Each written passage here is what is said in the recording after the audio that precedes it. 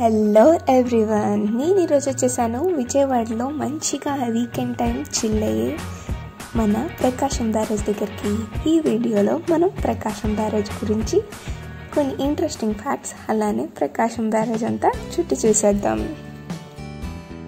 పద్దెనిమిది వందల నలభై ఏడు ముందు వరకు కృష్ణానది మీద ఏ ఆనకట్ట లేక కృష్ణా మరియు గుంటూరు ప్రజలు చాలా ఇబ్బందులు పడేవాళ్ళు. ఇంత పుష్కలంగా కృష్ణానది ప్రవహిస్తున్న వారికి ఎప్పుడూ కరువు కాటకాలు లేదా వరదలతో ప్రజలంతా ఎంతో కష్టపడేవాళ్ళు.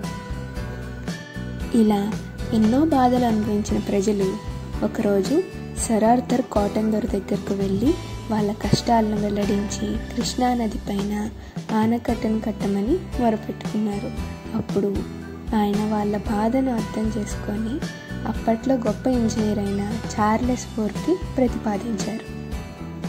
ఆయన ఈ చుట్టుప్రక్కల ప్రదేశాలన్నీ తిరిగి సీతానగరం కొండ అయిన విజయకీలాద్రికి అమ్మవారి గుడి దగ్గర కొండ అయిన ఇంద్రకీలాద్రికి మధ్యలో కడితే మంచి ధన్ను అందిద్దని ఈ ప్రదేశాన్ని ఎంచుకున్నారు.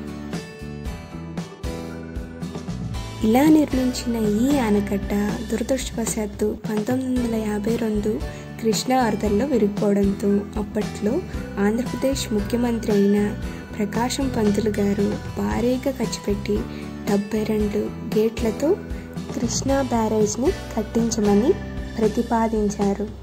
దురదృష్టవశాత్తు బ్యారేజ్ ఆరంభించక ముందే ప్రకాశం పంతులు గారు మరణించడంతో ఆయన గుర్తుగా బ్యారేజీకి ప్రకాశం బ్యారేజ్ అని నామకరణం చేశారు.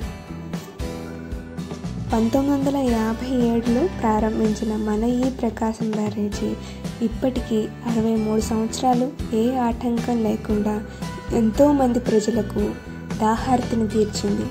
కృష్ణా గుంటూరు ప్రకాశం మరియు వెస్ట్ గోదావరి జిల్లా ప్రజలకు తాగునీరు సాగునీరు అందించింది. ఇదే మన ప్రకాశం బ్యారేజీ గొప్ప హిస్టరీ అన్నమాట.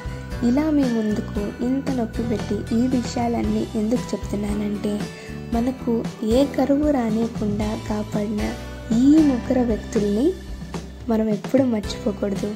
వారే మన సరార్థర్ కాటన్ ద్వారా చార్లెస్ వోర్ మరియు మన ప్రకాశం పంతులు గారు. అలానే అతి ముఖ్యమైన మన కృష్ణమ్మ. మనందరం మన కృష్ణానదికి ఏ హాని కలిగేయకుండా జాగ్రత్తగా చూసుకుంటేనే మన ఫ్యూచర్ జనరేషన్స్ కూడా మనలాగే ఎంతో హ్యాపీగా ఉంటారు. ఇంకా మన మామూలు విషయాలకు వచ్చేస్తే మన కృష్ణానదికి వరద నీరు బాగా రావడం వల్ల డెబ్బై రెండు గేట్లు ఎత్తేయడంతో మన కృష్ణానది ఒక మినీ సముద్రంలా కనిపిస్తుంది అసలు. ఆ వాటర్ ఫ్లో కానీ అసలు ఎంత బాగుందో.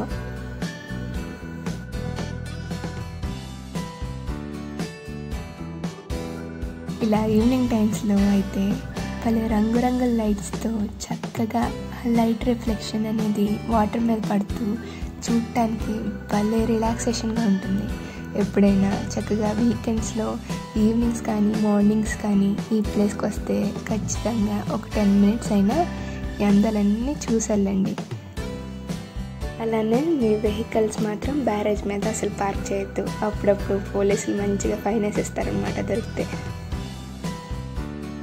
అలానే మన ఈ ప్రకాశం బ్యారేజ్ గురించి మీకు ఏమైనా మంచి విషయాలు తెలిస్తే కామెంట్ సెక్షన్లో నాకు కూడా చెప్పేయండి.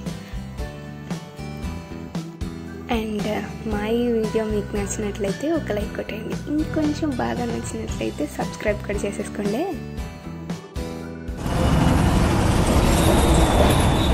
సో మీకు కనుక ఈ వీడియో నచ్చినట్లయితే లైక్ చేయండి షేర్ చేయండి. సబ్స్క్రైబ్ చేసుకోవడం మాత్రం మర్చిపోకండి. Bye bye see you in the next video